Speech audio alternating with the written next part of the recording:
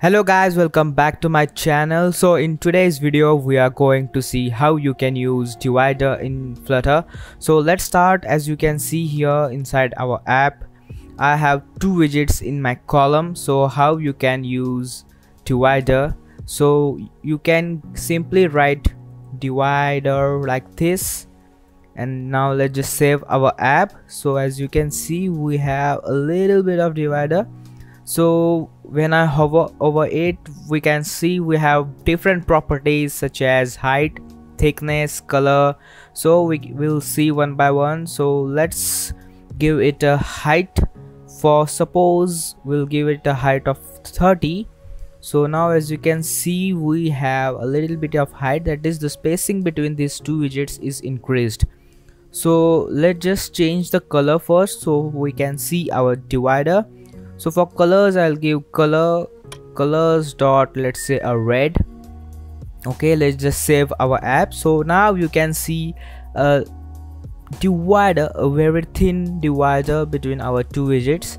So what we can do is we can simply use a thickness property to change its thickness. For example let's give it a thickness of 10 so you can see it properly. So as you can see here we have a divider with thickness 10 so let's give it a thickness of 2 okay so this is the thickness of 2 and what other properties? There are other properties such as indent and end indent. Okay so let's write what is indent. Indent is the amount of space empty space in the leading. Okay so let's give it an indent. It takes in a double value suppose we want to spacing from here that is let's give it a value okay so let's just save our app.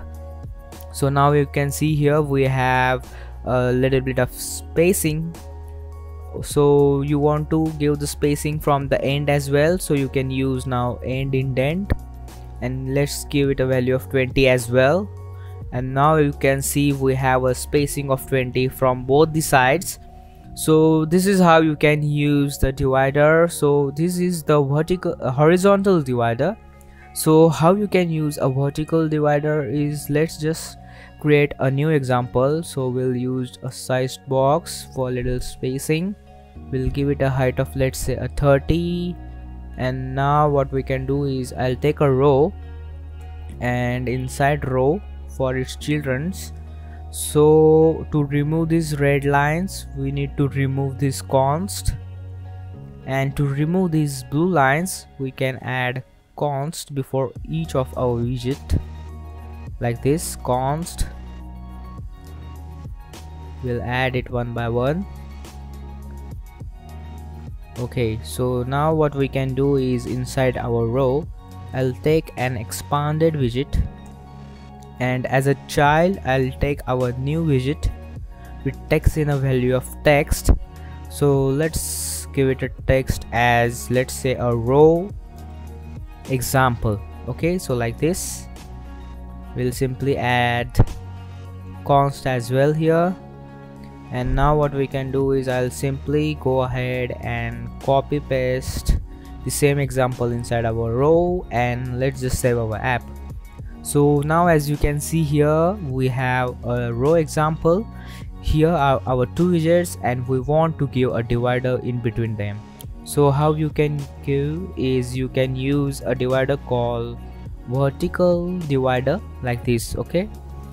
It has the same properties as dividers as you can see here thickness. The only difference is it takes in a value of width that is double not height as we are giving it inside our row so for it as we'll give it a width of let's say a 30 so now as you can see we have a little bit of spacing between our widgets.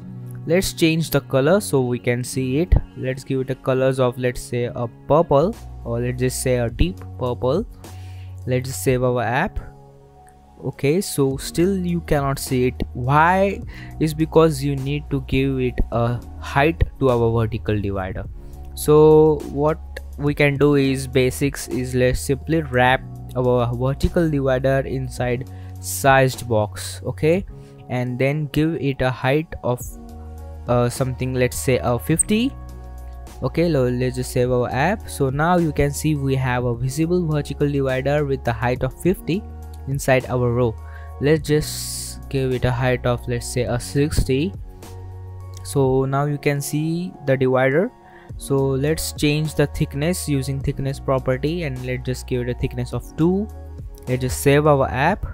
Okay so it also has the properties which are indent and end indent. For example indent let's just give it a value of let's say a 20 so we can see we have a 20 spacing from the above and from the below. End indent will give it a value of 20 as well. So you can see we have a spacing from below. So this is 20 20 and the height is 60 so the remaining is 20 as well. So here is the 20 okay so now what we can do is we can we will simply remove this and let's just save our app. So this is how we can have our vertical divider inside row in flutter and this is how we can use simply a divider widget inside a column to have such type of examples.